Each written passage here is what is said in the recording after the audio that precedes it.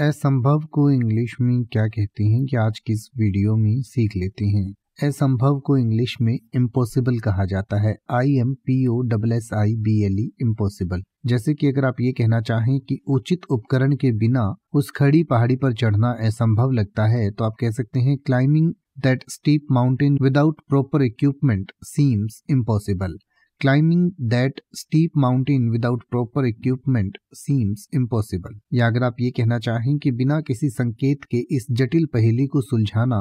लगभग असंभव लगता है तो आप कह सकते हैं solving this complex puzzle without any hints feels nearly impossible solving this complex puzzle without any hints feels nearly impossible अब आप ऐसे ही किसी भी वर्ड का मतलब हिंदी और इंग्लिश में यूट्यूब पर सर्च कर सकते हैं। आपको मेरी वीडियो मिल जाएगी, जिसमें आप बिना किसी फालतू बकवास के सीधा उस वर्ड का मतलब समझ पाएँगे। तो ऐसी ही वीडियोस को देखते रहने के लिए चैनल को सब्सक्राइब करें और बेल आइकन को प्रेस करें।